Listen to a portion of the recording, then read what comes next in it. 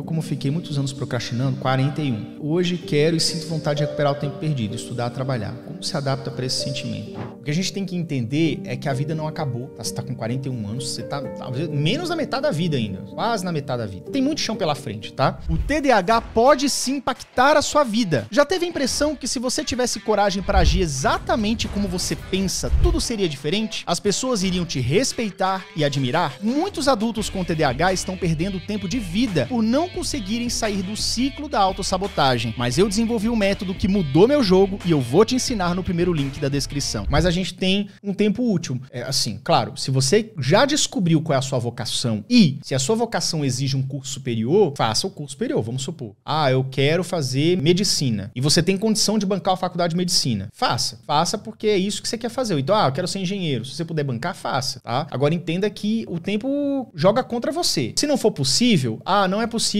fazer medicina, sei lá. Qual área que você gosta de fazer medicina? De repente você quer fazer nutrição, né?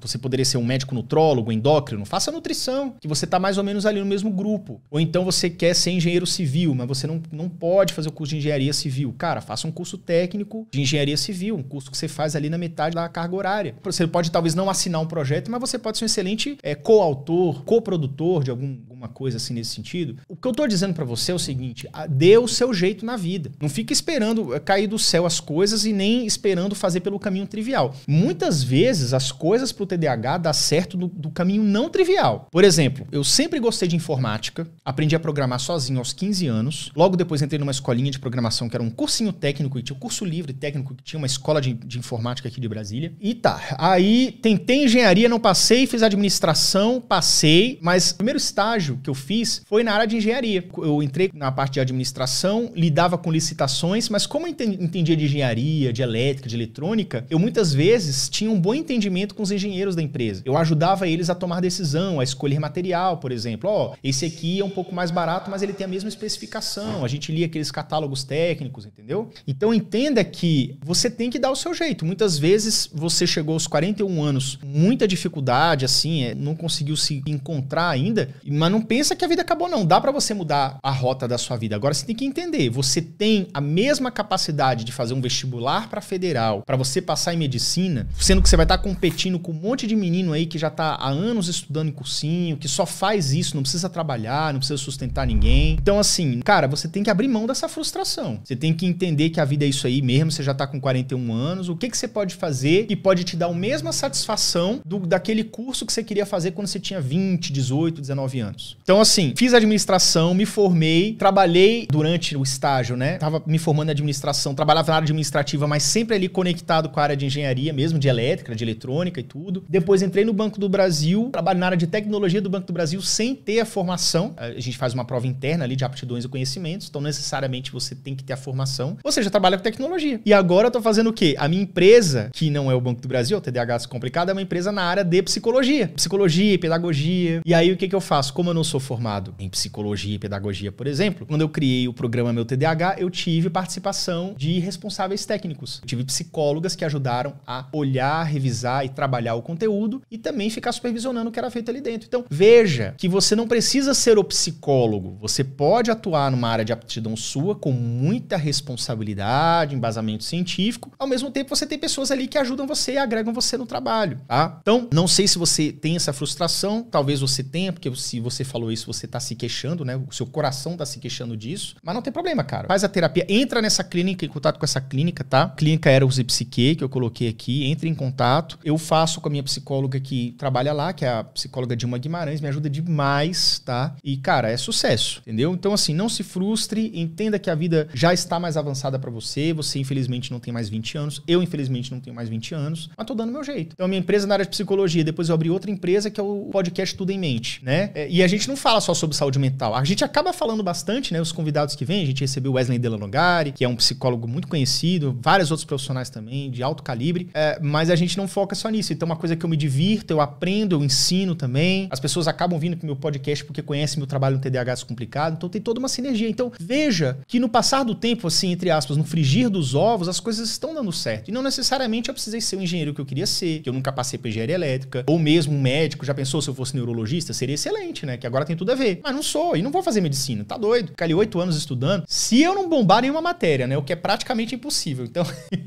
iam ser 16 anos de estudo. Gente, não dá. Então a gente tem que aprender a fazer um limão dessa limonada, cara. Se eu pudesse te dar um conselho, é isso, tá? Jogue com as regras do jogo, entenda a sua posição na vida agora, no momento que você está, mas tem muita coisa que você consegue extrair disso daí, tá? Só você ter paciência, conhecimento e pisar fundo aí, tá bom?